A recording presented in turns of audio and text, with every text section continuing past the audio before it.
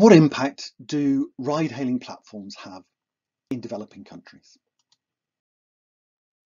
In order to answer this question, you have to see platforms as socio-technical transitions, changing a sector from one state or regime to a different one.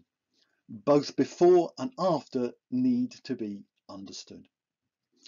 In a recent journal paper, we took the example of Easy Taxi in Bogota, the capital of Colombia in South America, and using interviews, participant observation, documentation, we analysed the before and after of four dimensions of the taxi sector, routines, resources, relations and institutions. And drawing from a more detailed tabulation, I'll illustrate each of those in turn.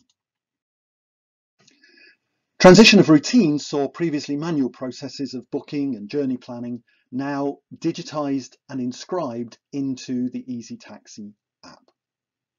Criminal behaviour, particularly robbery of passengers by fake taxi drivers, has been significantly reduced.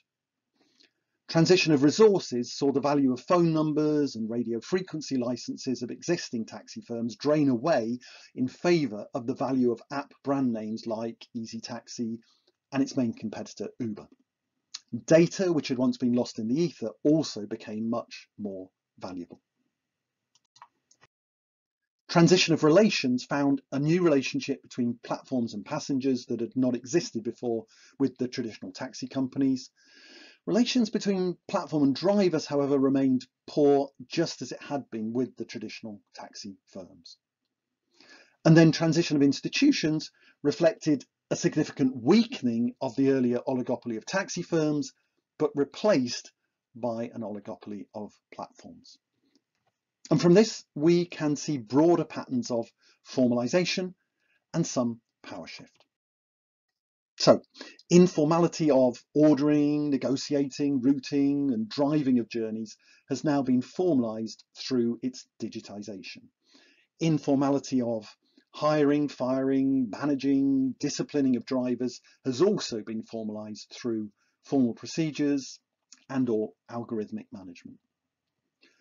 Passengers have been empowered through datification, reducing the previous informational absence and uncertainty which had fed fear and insecurity about travel in Bogota.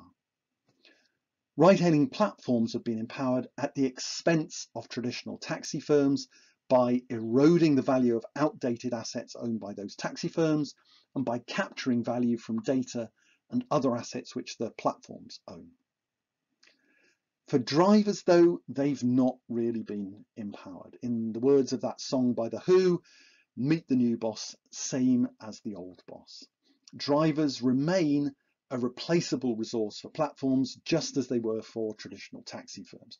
For all the platform talk of autonomy and flexibility, drivers remain more tightly managed than ever. And so one oligopoly has just been replaced by another, even stronger one. If you'd like to know more, then please take a look at our paper, Conceptualizing Digital Platforms in Developing Countries as Socio-Technical Transitions, published in the European Journal of Development Studies.